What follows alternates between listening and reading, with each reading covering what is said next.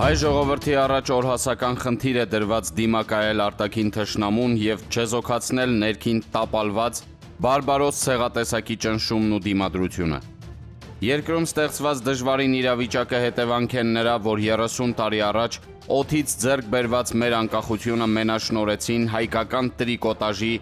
սպարտիվ կաներով, սիրիական ջինսերով եւ բոթասներով, վզներից կախված դեղին ու կանաչ գալոններով սուտ հայրենասերների, ժուլիկների եւ խափեփաների կողմից։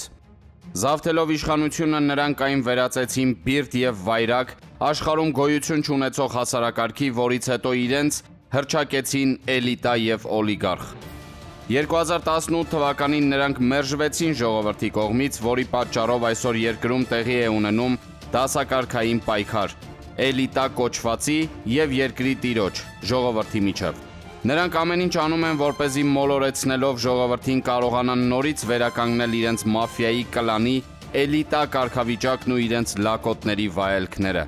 Իսկ արտաքին թշնամու հետ խաղաղության պայմանագիր կնքելու կապակցությամբ կարող եմ ասել, որ բոլոր ժամանակներում աշխարհակաղակական նման խառն իրավիճակներում ամենաբարդ եւ լուծում չստացած տարածաշրջանը հարավային Կովկասն ու Փոքր Ասիան է եղել կապված քոչվոր ցեղերի, հատկապես թուրք եւ մոնղոլ բարբարոս ցեղերի, որոնց ներխուժման պատճառով բռնազավթվեցին հազարամյակներով իրենց հողի վրա բնակվող ժողովուրդների հայրենի տարածքները։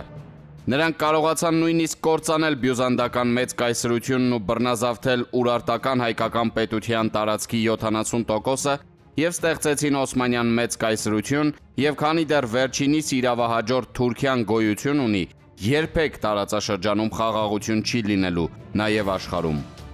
Ես դեմ չեմ խաղաղություն հաստատել տարածաշրջանում, սակայն ինչպես գիտենք, ողջ պատմության ընթացքում բազմաթիվ խաղաղության պայմանագրեր են կնքվել Թուրքի հետ, սակայն ոչ մեկը չի իրագործվել։ Ավելին այսօր նրանք խաղաղություն են ուզում մեր երկրի սուվերենության հաշվին։ Այն է հատուկ կարգավիճակով միջանցք ստանալ ՀՀ տարածքով, դա абսուրդ է։ Նույնիսկ իրենք են հասկանում դրա անհնարինությունը։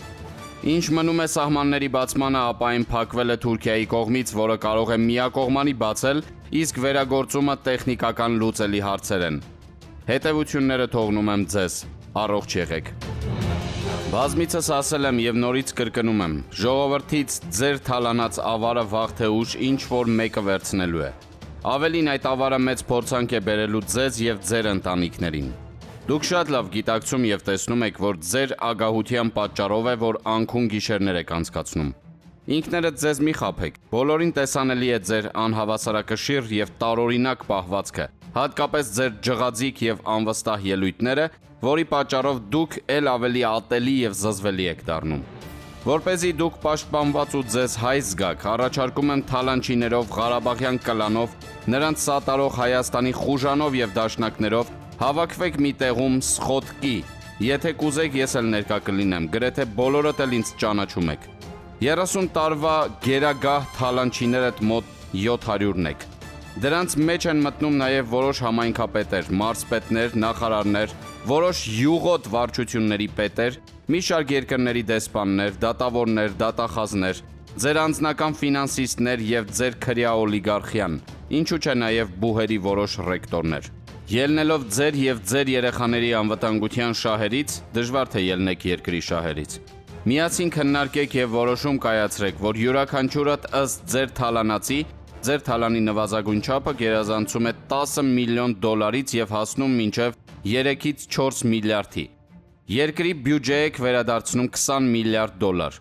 Այս նախաձեռնությամբ մենք կարող ենք փակել մեր երկրի արտաքին պարտքը, հզորացնել մեր տնտեսությունը, բանակն ու քարապատկել մեր թոշակառուների կենսաթոշակները։ Ավելին, այս դեպքում դուք կթուլացնեք ժողովրդի հակակրանքը ձեր նկատմամբ, բացառությամբ իհարկե մարդասպանների։ Ուշքի եկեք, քանի դեռ ուշ չէ։